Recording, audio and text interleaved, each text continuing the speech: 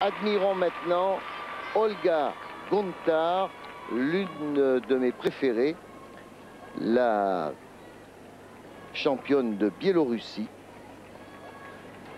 qui nous a enthousiasmés hier après-midi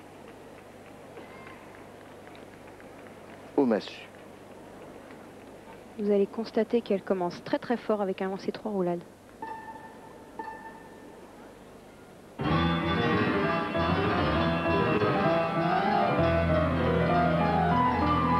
Championne d'Europe junior.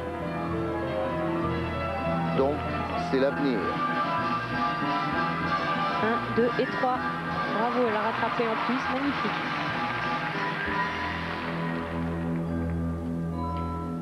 Dans cet exercice, Olga va montrer tout son tempérament.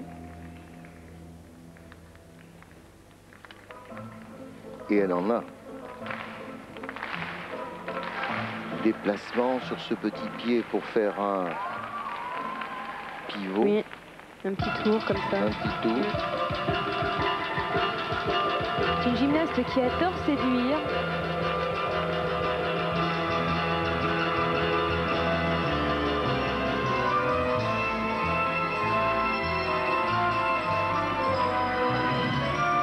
Et elle a choisi une belle musique pour séduire le public français. Ah, Madame Delicia.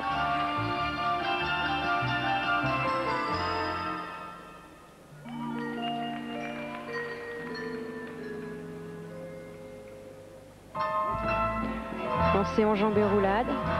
C'était juste. Elle n'a pas vraiment rattrapé la baguette. Ah, on va... On va voir c'est vrai que ça peut enlever une petite... Euh, oh, un centième, si j'étais juge. On arrive tellement à être séduit par euh, l'appréciation de ces jeunes filles qu'on oublie les fautes. À espérer, Pierre, que les juges seront d'accord avec vous. Elle vous ressemble un peu. Oh, hein c'est gentil, merci. Elle est très belle, je trouve. Mais Christelle Sahuc euh, a été aussi étincelante à Barcelone.